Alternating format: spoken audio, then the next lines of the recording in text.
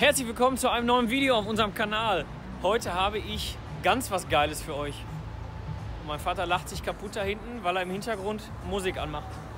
Eigentlich wollte ich euch den Pacifica Limited S zeigen, und zwar den.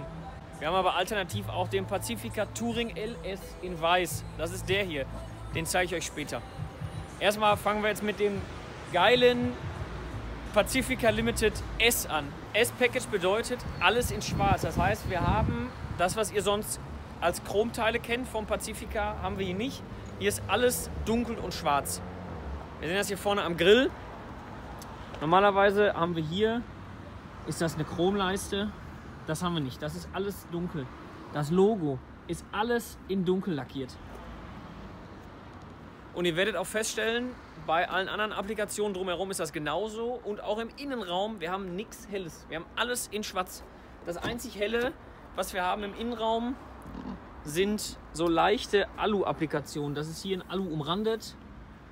Das ist hier in Alu umrandet. Das ist alles ähm, sehr edel. Und hier haben wir, das ist kein Alu, aber das ist ähm, hell abgesetzt. Aber beim S-Package ist alles schwarz. Das werdet ihr bei dem Touring L S-Package da hinten auch feststellen. Klar, das Auto an sich ist weiß, aber alles andere, was Chrom ist und sowas, ist alles schwarz.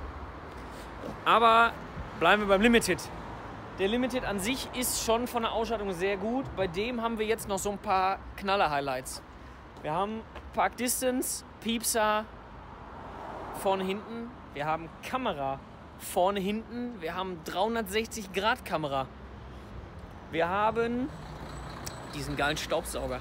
Den haben wir noch nie gehabt in einem Limited, aber hier ist der drin und mit dem Staubsauger können wir saugen.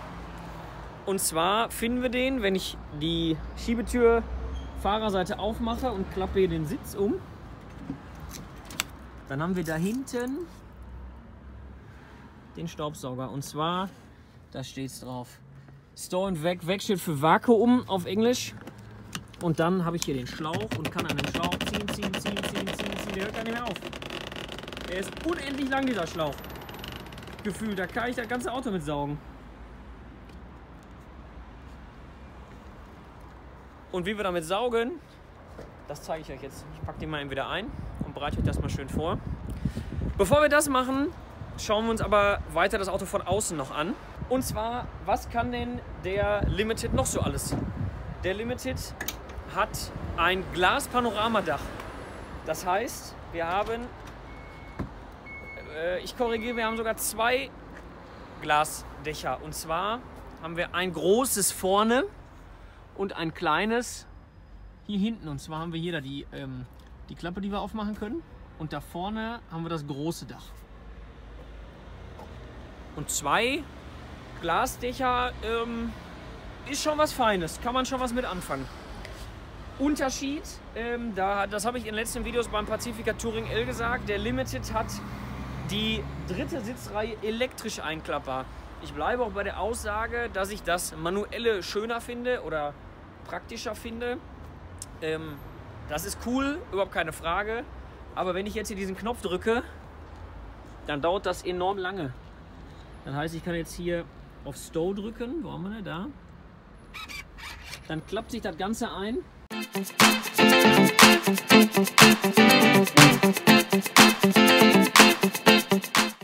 Wenn wir dann abgewartet haben und die ganze dritte Sitzreihe ist eingeklappt, nehme ich euch mal mit auf den Beifahrersitz und zeige euch mal von innen, wie es so aussieht.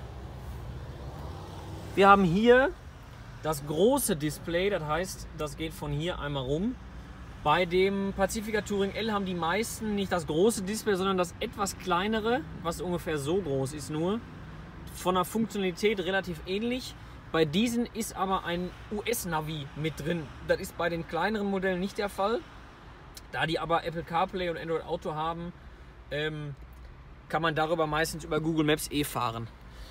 Ansonsten haben wir hier klassisch volle Hütte. Das Ding hat eigentlich alles was man sich vorstellen kann. Wir haben den normalen Tempomaten, wir haben Abstandstempomaten, wir haben Spurwechselassistent, Sitzheizung, Lenkradheizung, Sitzmemory, USB, AUX, CarPlay habe ich gerade schon gesagt, diese scheiß Start-Stopp-Automatik.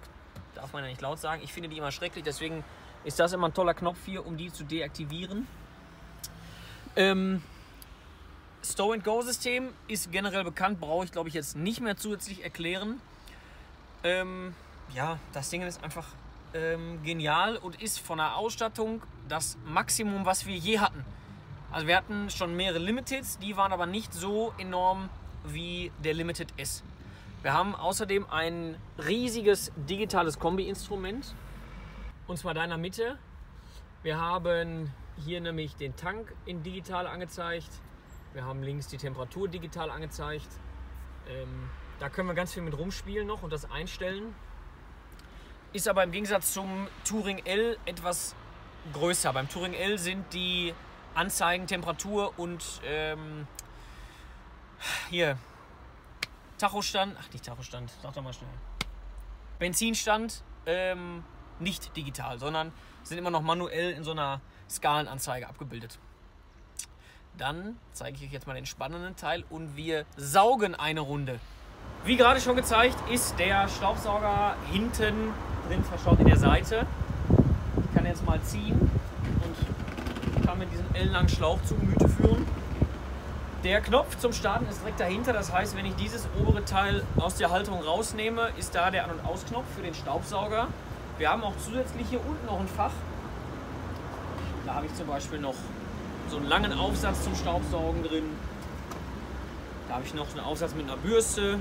Also eigentlich ist das Ding schon mächtig gut ausgestattet für einen Onboard-Staubsauger. Wenn ich den jetzt mal anmache, dazu muss das Auto laufen. Ähm, das ist von der Power für die Batterie nicht ausreichend, wenn wir nur Zündung anhaben, sondern wir müssen das Auto anmachen. Dann kann ich mal mit dem Knopf hier starten. Dann fährt der hoch. Und dann kann ich damit wirklich saugen, der hat schon Power. Also ich finde, der hat schon Kraft dafür, dass das halt ein integrierter Staubsauger in einem Auto ist. Wir dürfen nicht vergessen, wir sind in einem Auto. Also ihr seid irgendwo in der Walachei unterwegs und habt jetzt gerade mit euren Chips am Rücksitz gekrümmelt. Dann müsst ihr nicht mehr bis nach Hause fahren, sondern ihr könnt einfach während der Fahrt das Ding rausnehmen und eure Chipskrümmel aufsaugen. Das finde ich total genial. Ähm, also wie gesagt, der hat viel Power, finde ich. Der Filter für den Staubsauger ist hinten drin im Kofferraum. Der ist da verstaut. Den kann man aber ganz einfach über so einen Klappmechanismus auch ähm, rausnehmen und entweder auswaschen oder auswechseln. Ich finde das genial geil.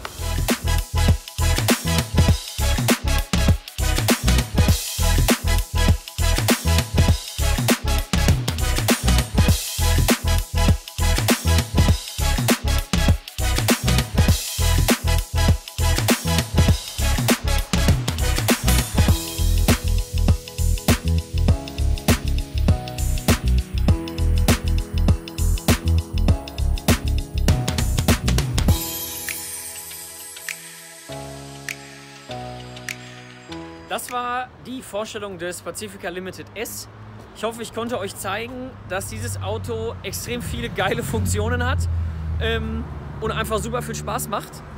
Wir haben den da, das ist im Moment der einzige, den wir als Limited S da haben, weil die S-Variante nicht so breit vertreten ist wie die normale Limited-Variante.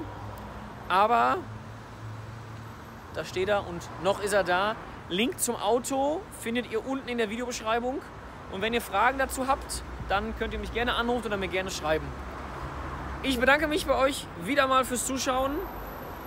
Bleibt gesund in dieser Zeit. Lasst mir gerne ein Like oder ein Abo da oder gerne beides. Da freue ich mich drüber. Und jetzt bleibt gesund weiterhin. Doppelt hält besser. Danke fürs Zuschauen. Macht's gut. Ciao.